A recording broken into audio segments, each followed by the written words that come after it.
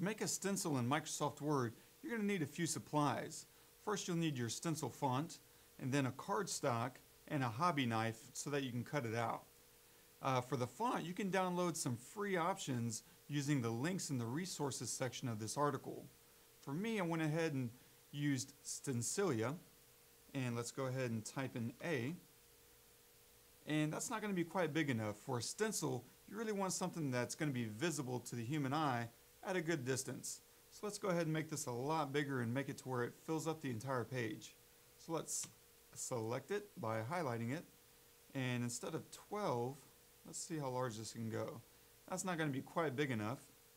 So let's highlight it again and maybe go up to 600 and press enter. Great. Now that our font size is up to 600, we feel like that's taken up quite a bit more space. But let's go ahead and center it by highlighting it and under the paragraph going to center. Great.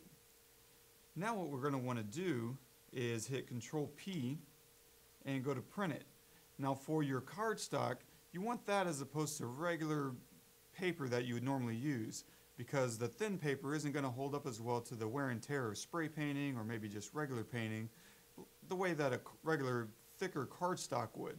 So go ahead and uh, insert that into your printer and hit print and then once it's out you're going to want to cut out all the black area which is why a stencil font is really important because if this wasn't sectioned out and instead was black this whole way through, whenever you went to cut it out, you'd lose the shape of this A in the center. So having the proper font is really important. And that's how you make a stencil using Microsoft Word.